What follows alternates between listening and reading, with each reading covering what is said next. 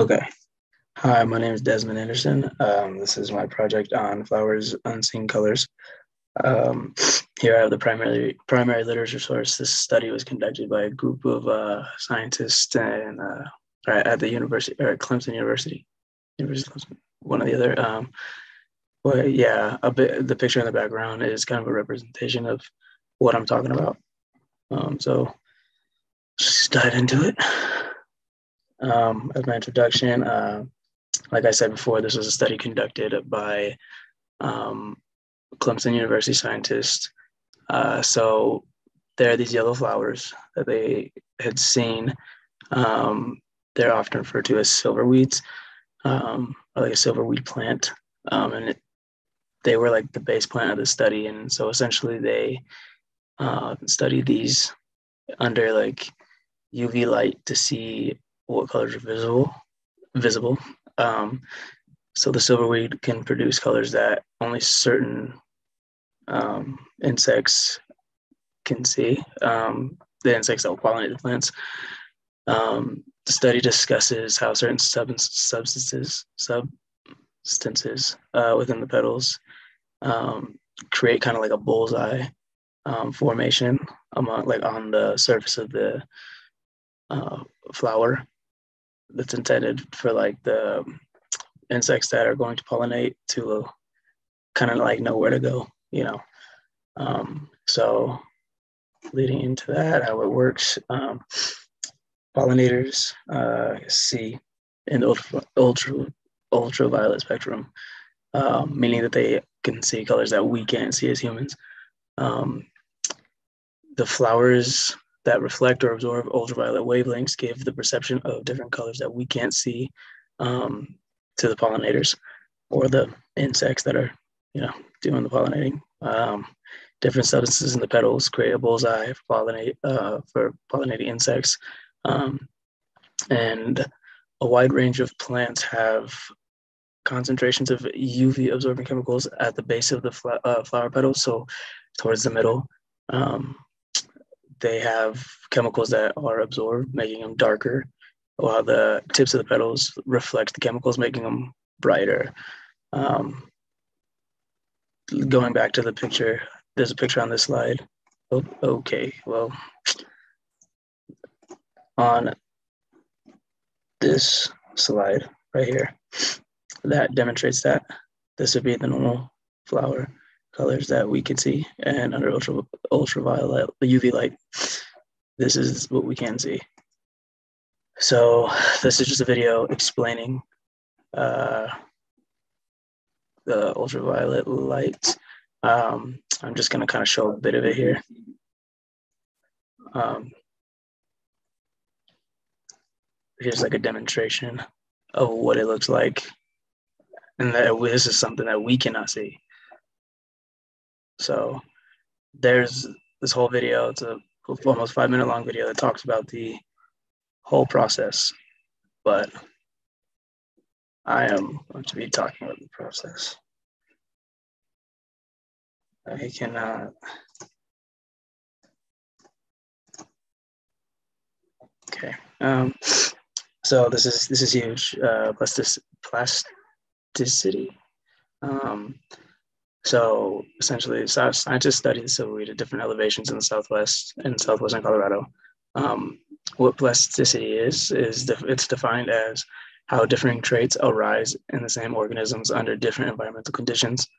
Um, this is an important concept to understand uh, how organisms adapt to survive to change.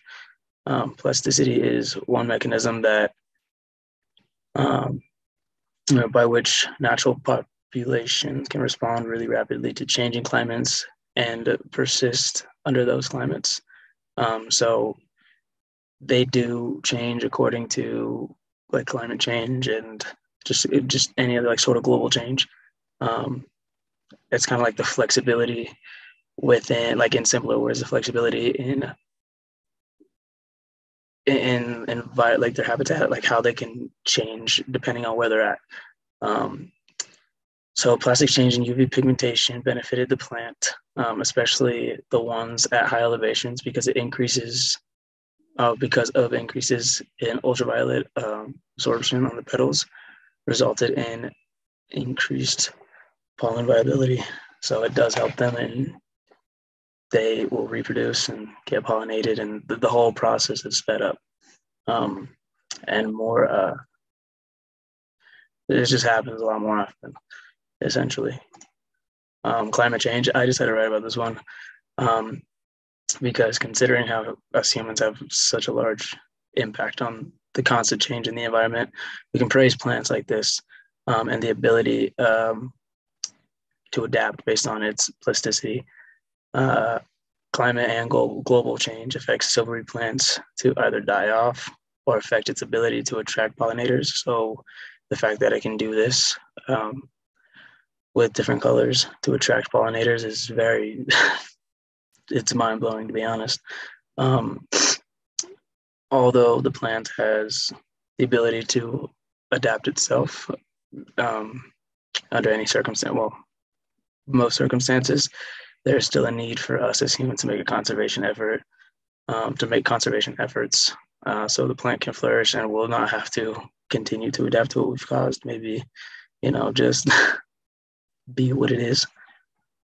Um, and then why is this research important? So the study that is being conducted will help scientists to better understand how not only organisms can respond to environmental change, but even be able to predict what can happen in the future um, based on how it's changing or you know just like it'll help scientists like understand what's going on and maybe we could catch something before um, you know stuff goes goes goes wrong.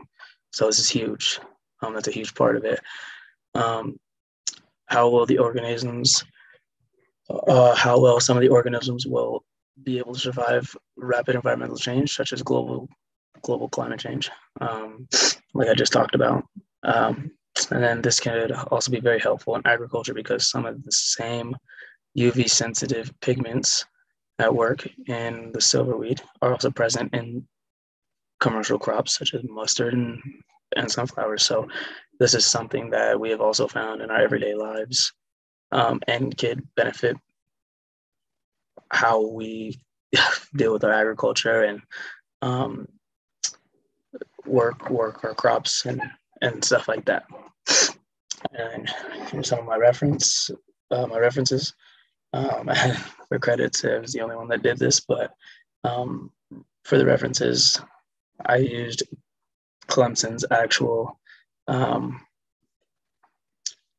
uh, their their actual website because they wrote about their own project themselves, and then Science Daily kind of showed me more about that.